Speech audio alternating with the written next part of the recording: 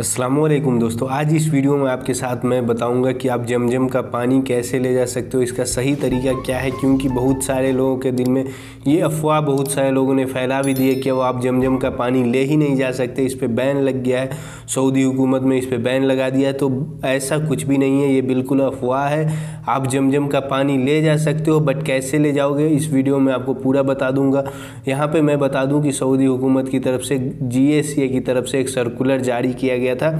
और यहाँ पे सारी जो एयरलाइंस थी, उनको बताया गया था कि अब आप जमजम का पानी जो है लगेज के अंदर में नहीं ले जा सकते। उसमें बस जमजम के पानी की बात नहीं थी। उसमें बताया ये गया था कि लिक्विड का कोई भी आइटम हो, यहाँ पे तेल हो सकता है या फिर और कोई भी ऐसा लिक्विड आइटम वो आप जो है लगेज में नहीं ले जा सकते हो। अब ले कैसे जाना है, मैं आप उसको, इसको बता दूँ, क्योंकि बहुत सारे लोग यहाँ, वहाँ पोस्ट कर रहे हैं। बहुत सारा ऐसा कमेंट भी आ रहा है। यहाँ पे बताया ये जा रहा है कि आप ले ही नहीं जा सकते। अब जमजम का पानी, अभी आपको हज का टाइम है। आप सोचो, जो हाजी लोग आते हैं, वो क्या चाहते हैं? यहाँ से खजूर या फिर जमजम का पानी, यही सब ले जाते हैं। तो अगर जमजम का पानी पे ही बैन लगा दे यहाँ की हुकूमत तो फिर क्या?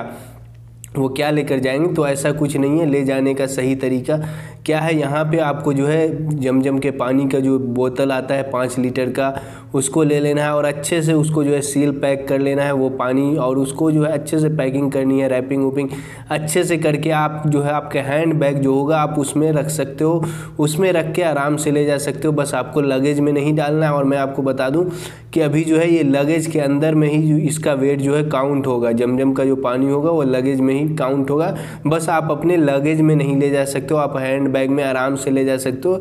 यहाँ पे ले जाने वाले लोग ले जा भी रहे हैं। तो ये थी एक छोटी सी न्यूज़ जो कि आप लोग के अंदर जो अफवाह है, इसके बारे में मैंने बता दिया कि ऐसा नहीं है। आप ले जा सकते हो, किस तरह से ले जा सकते हो, सिंपल आपको हैंड बैग में अच्छे से पैकिंग करके लेके चले जाना है। कोई भी दिक्कत कहीं पे कोई रोकने वाला नहीं होगा, बस लगेज में नहीं डालना है। तो अगर वीडियो पसंद आई हो, इस तरह की और भी वीडियो देखना चाहते हो तो आप इस चैनल को सब्सक्राइब कर सकते हो। इस वीडियो को लाइक कर देना।